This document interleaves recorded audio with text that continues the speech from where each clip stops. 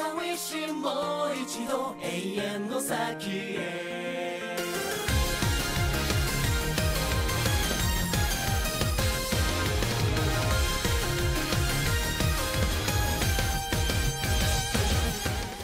Kamigami no Asobi is a 12 episode anime released in spring of 2014. The show is directed by Tomoyuki Kawamura, famous for approximately nothing, and written by Tomoko Konparu, who has worked on a ton of shoujo. For example, she's worked on shows such as Kimi ni Todoke. More relevantly, though, she's worked on Uta no Prince-sama, but most importantly, she worked on the anime adaptation of Nana. The show is produced by Brain's Base, who have done an incredible amount of fantastic shows, such as Natsume Yuujinchou and Rarara. But sadly, their repertoire of reverse harems extends to Amnesia, a horrible yet morbidly entertaining show about a girl who continually gets herself killed or locked in cages. While I wanted to have high hopes for Kamigami no Asobi, I really didn't because of the studio behind it. But being a fan of reverse harems, I just had to see what the show had to offer. So, the story follows that of Yui Kusanagi, a high school student who is one day transported to a magical world. In that world, she meets a huge cast of Bishonen before discovering that the world that she's in was created by the Greek god Zeus. And Zeus requires her help to make many of the gods living in his garden understand the human heart. The first episode of this show was written off by practically everybody who was watching it, and I can kind of understand why. First, we get this incredibly drawn out scene of one of the main characters doing a transformation sequence that isn't entirely dissimilar to a magical girl.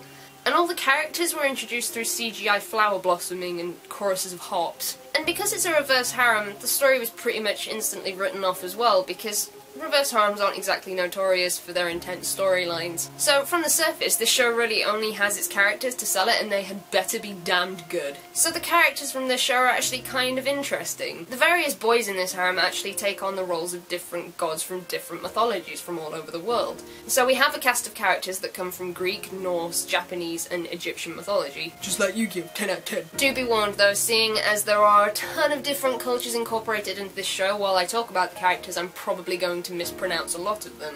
But that's okay, because the show took liberties with its pronunciation too. Dionysus. So the first set of characters we're going to talk about are those from Japanese mythology. Tsukito and Takeru Totsuka are two brothers with very different personalities. Tsukito is the Japanese god of the moon. He's a very quirky yet distant character. He's an excellent note taker but has very little capacity of understanding for anything, pretty much.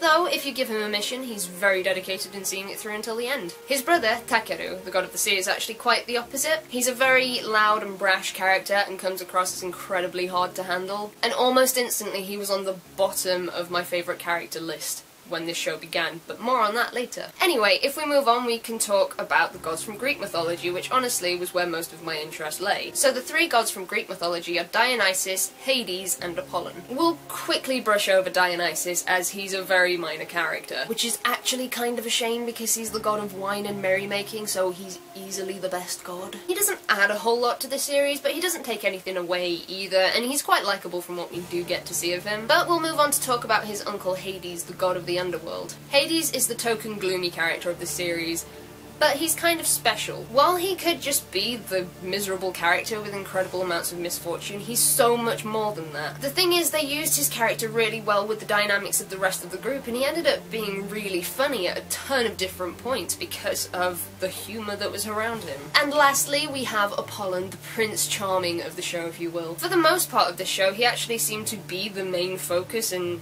main route that they were going down. And I can kind of see why. He's kind, he's sweet, and he's incredibly optimistic. He ended up being a personal favourite of mine just for the fact that he had this incredibly optimistic and energetic personality. And lastly, we'll move on to the Norse gods. Naturally, you have Thor, although his character is very much a supporting role and he is just basically there to look over his friends Balder and Loki. So Loki is the mischievous character of the bunch. He loves pulling pranks and very, very rarely takes anything seriously, and the only time he does is when his character is developing, which cannot happen without his best friend Balder. Balder is quite possibly the most interesting character out of the entire set, because you remember how I mentioned before that reverse harems are sort of written off as for Joshi Fuel and not really having a ton of story behind them?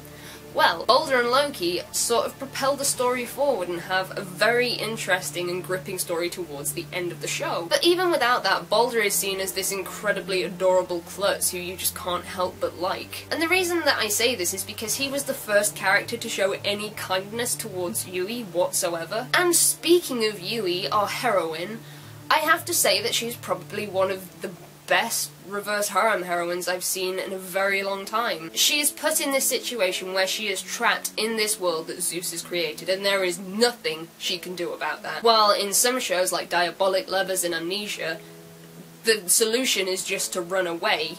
Yui can't do that. So instead of feeling miserable about the fact that she is stuck in this place for an entire year, she just does what she has to do to help these gods and try and get out of the garden. She doesn't mope about and she doesn't agonise about everything she has to do and it's really, really incredible to see. So the way that the show is structured is very similar to a few other reverse harems that I've seen before. Since the cast of characters is quite large, they're each given an episode to have their own development and have their own story. So one episode we'll be learning about Hades' personality and then the next we'll be learning about Takeru's backstory. And this worked in the show's favour so much. I can't even tell you. The reason that I really really like this formula is because, like that, it could change my opinion of a character.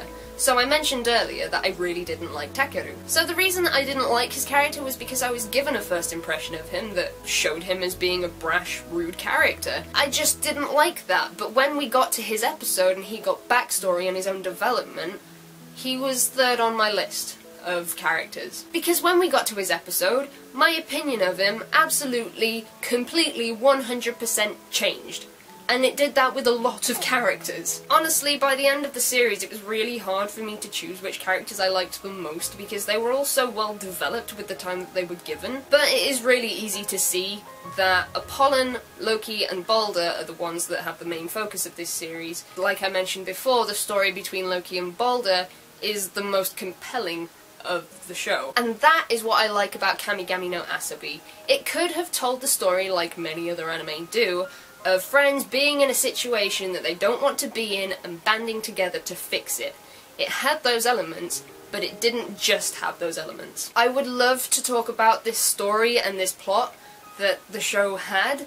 However, I'm not going to because even going anywhere near that seems to be a spoiler for the show. So if you have seen it, you know full well what I'm talking about, and if you are interested, go watch the show. But let's move on to talk about the design and animation of this thing. With a cast this large, you really need to make sure that your characters are quite diverse, and they really were. Most of their designs are really eye-pleasing, my least favourite being Loki, because it was just too flamboyant for me, I think. And the only real similarities were between Apollon and Balder, because they both have blonde hair. So they definitely achieved making the cast a diverse cast. And the design of this thing was so good, and even if we're not talking about characters, the sets of this thing were amazing, the outfits of this thing were amazing, just the whole world was incredible to look at, as well as as well as the characters being eye candy, I will give you that. But it's just a shame that this art style, this beautiful, amazing art style, has barely crossed over into the merchandising. Seriously, who thought that this was a good idea instead of this? The animation was okay. When it needed to look good, it looked good, but sometimes it had moments of awful inconsistency. I know that studios have time constraints, but who looked at this and thought, yeah, that's good, send it out. I cannot stress enough that I hope that these inconsistencies are fixed in later Blu-ray releases because they look awful. And now, let's talk about the music of this thing. Good God, was I impressed with the soundtrack. I am honestly one of those people that doesn't really pay attention to background music unless it really stands out to me, and the music in this thing really stuck out to me. And honestly, I loved the crap out of this OST. It never felt out of place and it had enough variety to fit in with every situation and was just so good. Though, I will say, unfortunately, at the time of this video going out, the anime soundtrack hasn't been released yet, so any background music that you might be hearing is from the game and not the show. I really, really wish I could say the same for the OP and ED. They're just not very good. I stand by the idea that just because you're a voice actor, it doesn't give you the innate ability to sing. However, no one cared in this situation.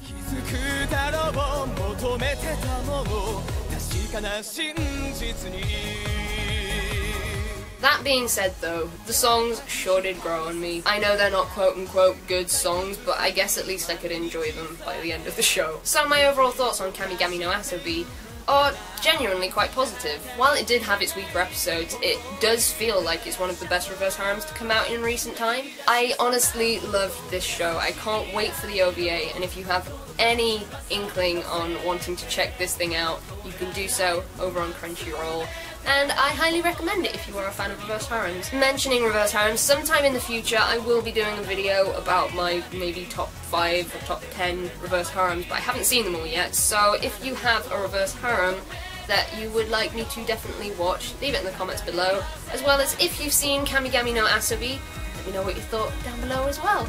But that's everything I really need to talk about with this show, so thank you for watching, take care, and I will see you guys soon.